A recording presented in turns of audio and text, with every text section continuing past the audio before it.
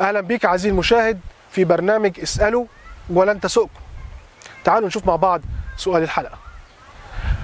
يقول الكتاب في سفر الرؤيا 17 وهؤلاء يحاربون الخروف ولكن الخروف يهزمهم لأنه رب الأرباب وملك الملوك.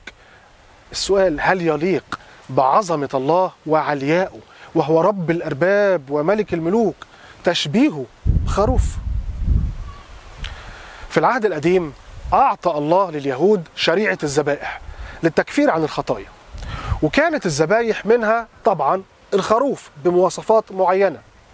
والموضوع ده بدأ من أول ما آدم أخطأ وحاول يستر عريه لكن ما قدرش. فالله أحضر ليه جلد حيوان وستره. ومن أول آدم برضه والله أعلن للإنسان إنه في يوم هيجي ذبيح عظيم مش خروف.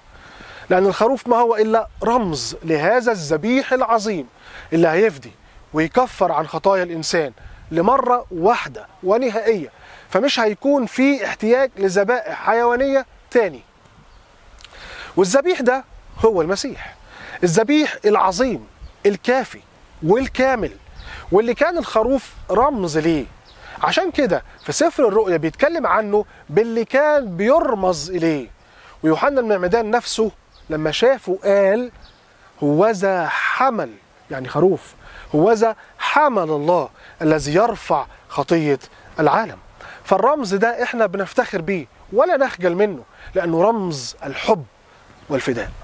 طبعا الموضوع برضه كبير ويحتاج ساعات للشرح لكن حاولنا نلخصها ببساطة. عشان كده عزيزي المشاهد فكر في كل اللي قلناه وابعت أسئلتك أيا كانت عشان برنامجنا اسمه اسأله ولن تسؤكم